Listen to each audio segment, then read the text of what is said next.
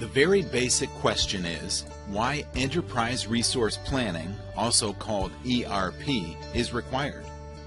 To answer, let's examine this typical business scenario. A client approaches the sales team to buy a particular product. The sales team approaches the inventory department to check the availability of the product. In this case, the product is out of stock. The sales team approaches the production planning department to manufacture the product. The production planning team checks with the inventory department for availability of raw material. If raw material is not available within the inventory, the production planning team buys the raw material from the vendors. Then production planning forwards the raw materials to the shop floor execution for actual production. Once ready, the shop floor team forwards the goods to the sales team, who in turn deliver it to the client. The sales team updates the finance department with revenue generated by the sale of the product. The production planning team updates the finance department with payments to be made to different vendors for raw materials. All departments approach HR for any human resource related issue. That is the typical business process of any manufacturing company. Some key inferences one could derive from the scenario would be a typical enterprise has many departments or business units. These departments or business units continuously communicate and exchange data with each other. The success of any organization lies in its effective communication and data exchange within these departments, as well as associated third parties such as vendors, outsources, and customers. Based on the manners in which communication and data exchange is managed, enterprise software systems can be broadly classified as decentralized systems or centralized systems, which are also called ERP. Let's look at decentralized systems first. In a company with a decentralized system of data management, data is maintained locally at the individual departments. Departments do not have access to information or data of other departments. To identify the problems arising from decentralized enterprise management systems, let's look at the same business process again. The customer approaches the sales team for a product, but this time he needs the product on an urgent basis.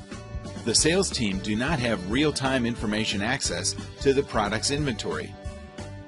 So they approach the inventory department to check the availability of the product. This process takes time and the customer chooses another vendor, leading to loss of revenue and customer dissatisfaction. Now suppose the product is out of stock and the sales team approaches the production planning team to manufacture the product for future use. The production planning team checks the availability of the raw materials required. Raw material information is separately stored by production planning as well as the inventory department. Thus, data maintenance cost goes up. A particular raw material required to manufacture the product is available in the inventory, but according to the database of the production planning team, the raw material is out of stock. So they go ahead and buy the raw material. Thus, material as well as inventory costs go up.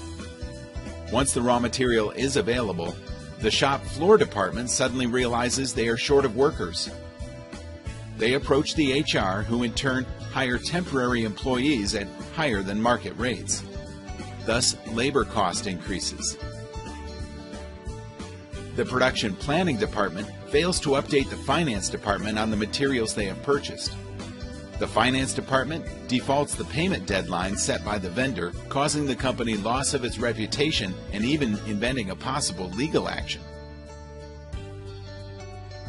These are just a few of the many problems with decentralized systems. Some major problems with the decentralized system are numerous disparate information systems that are developed individually over time and are difficult to maintain. Integrating the data is time and money consuming. Inconsistencies and duplication of data. Lack of timely information leads to customer dissatisfaction, loss of revenue, and reputation. High inventory, material, and human resource costs. These are just some of the major drawbacks for which we need a solution. Well, the solution lies in centralized systems, that is, ERP. In a company with a centralized system of information and data management, Data is maintained at a central location and is shared with various departments. Departments have access to information or data of other departments. Let's look at the same business process again to understand how a centralized enterprise system helps overcome problems posed by a decentralized enterprise system. In this case, all departments update a central information system. When a customer approaches the sales team to buy a product on an urgent basis, the sales team has real-time information access to the products in inventory, which is updated by the inventory department in the centralized system. The sales team responds on time, leading to increased revenue and customer delight. In case manufacturing is required, the sales team updates the centralized database. Production Planning Department is auto-updated by the centralized database for requirements. The production planning team checks the availability of the raw materials required via central database, which is updated by the inventory department. Thus, data duplication is avoided and accurate data is made available. The shop floor team updates their manpower status regularly in the central database, which can be accessed by the HR department. In case of a shortage of workforce, the HR team starts recruitment process with considerable lead time to hire a suitable candidate at market price. Thus, labor costs go down. Vendors can directly submit their invoices to the centralized enterprise system, which can be accessed by the finance department. Thus, payments are made on time and possible legal actions are avoided. The key benefits of the centralized system are it eliminates the duplication, discontinuity, and redundancy in data. It provides information across departments in real time. It provides control over various business processes. It increases productivity, provides better inventory management, promotes quality, reduces material cost, allows for effective human resources management, and reduces overhead while boosting profits. Better customer interaction, increased throughput, and improved customer service.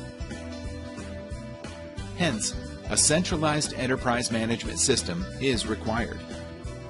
SAP is a centralized enterprise management system, also known as Enterprise Resource Planning.